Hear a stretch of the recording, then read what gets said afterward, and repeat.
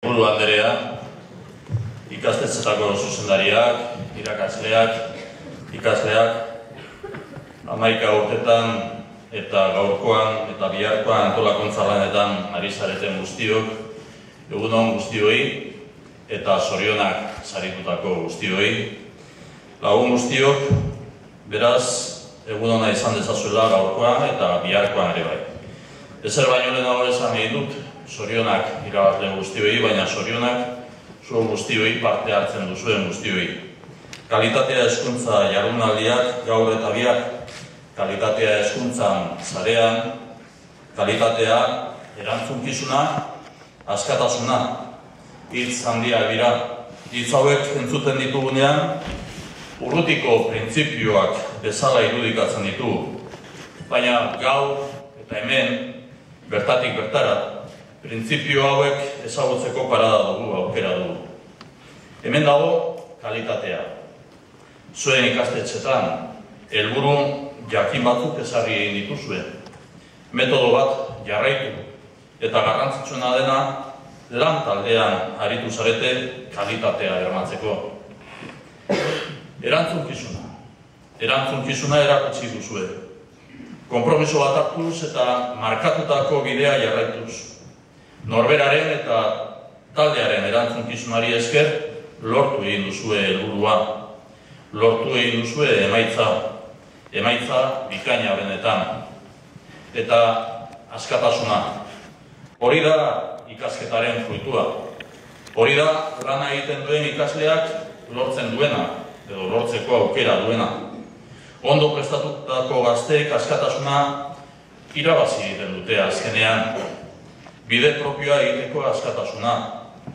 Zuen eta gu guztion etorkizuna irudimenez eraikitzeko askatasuna. Gizartea eraldatzeko eta hobetzeko aukera. Kalitatea, erantzunkizuna, askatasuna. Printzipio horietan sinestu egiten dut. Printzipio horiek hemen aurkitu egiten ditut. Probemos del mundo educativo.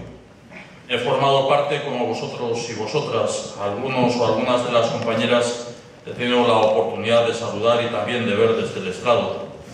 He formado parte, por lo tanto, de equipos comprometidos con la calidad en la enseñanza, comprometidos con el trabajo en común, con la participación y con la mejora continua. Estos son los principios y los valores en los que creo para todos. Me enorgullece participar en este acto con la comunidad educativa. Me enorgullece premiar la voluntad, la entrega y el compromiso que habéis adquirido.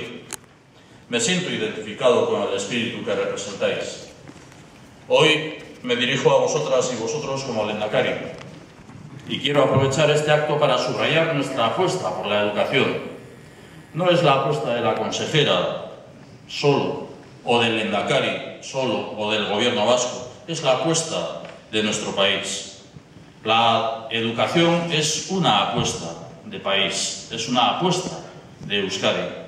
Nosotros y nosotras representamos a un país que cree en la educación como inversión.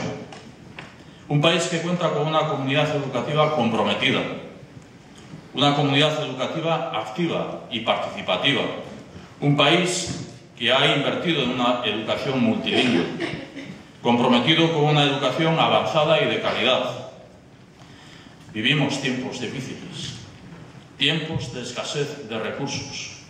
Pero este gobierno sabe que la sociedad quiere que primemos la educación. Sabe que la educación es inversión en las personas, es inversión en el futuro. Es un servicio esencial para el progreso y desarrollo de la juventud, para el progreso y desarrollo de nuestra comunidad. La sociedad lo sabe y el gobierno lo sabe. Por eso la educación es en su conjunto una prioridad para nosotros. Arro zaudete zuek lehenengo lerroan zaudetenok lortu duzuen sari honekin.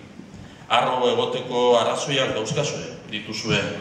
Eta gu ere arro sentitzen gara zuen ereduarekin, zuo guztion ereduarekin.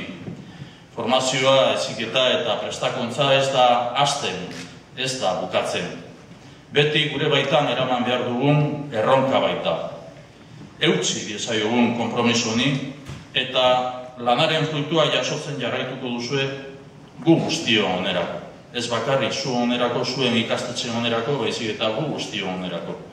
Zorionak beraz denoi eta behar bezala ospatu gaurko kalitate saria zuen ikastetxetan, zorionak guztioi benetan. Mila esker.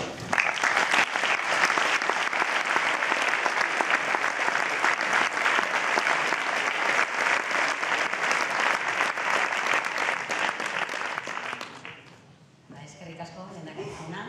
Eta orain mesedez, e, sarituak edo diploma eta oroigarria jaso dituzuen ikastetxe guztiak, igo zaitezten mesedez berri tokira eta danon e, argazki bat aterako. du.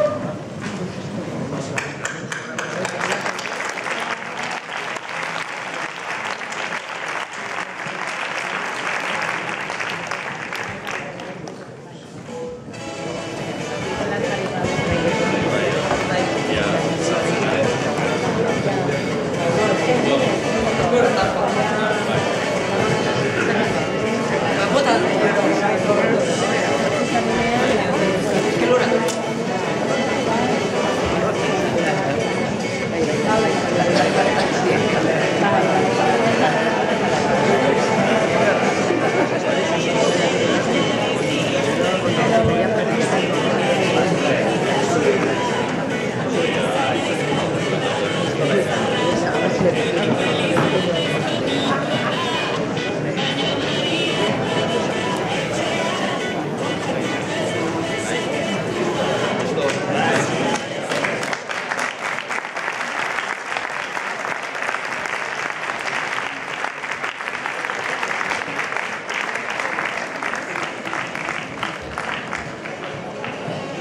θα κοιτάει η